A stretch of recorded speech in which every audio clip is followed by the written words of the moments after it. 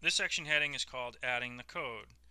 So now what we're going to do in this section is we're going to add our code to the loginsuccess.php file on line 38. So we're going to use Nano with this plus option once again so we can specify where to place the cursor when the file first opens.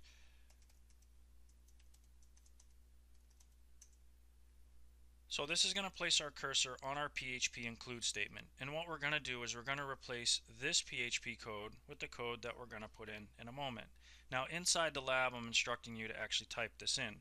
And once again I've gone over to the text editor and I've already done this to save some time. So here's our original code that we started with that we ran. Notice that we replaced our echo statement with this include statement down here. So once again, we're storing that path inside of a variable called path, and now down here, we're putting that inside of these curly braces. So we can actually get the value stored inside the variable, which again will give us the path. So we're going to be providing the absolute path to this file. So now I'm just going to copy this out, and then I'll come over here.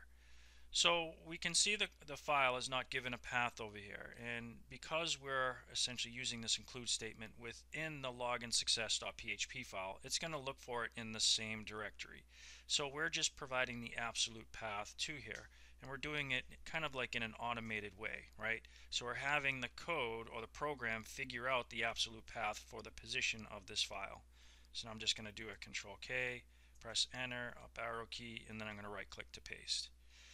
So now we want to make sure that your syntax when entering in is correct. And the way that we're going to ver verify that is in the next step. So let me save and exit. So control X, Y to save, enter, and then I'm just going to minimize this. The way that we're going to verify that your syntax is correct is we're just going to log in. So if we see the post being displayed on the forum, then we know that the syntax is correct. So here we can see the post down here, and this lets us know that everything is good.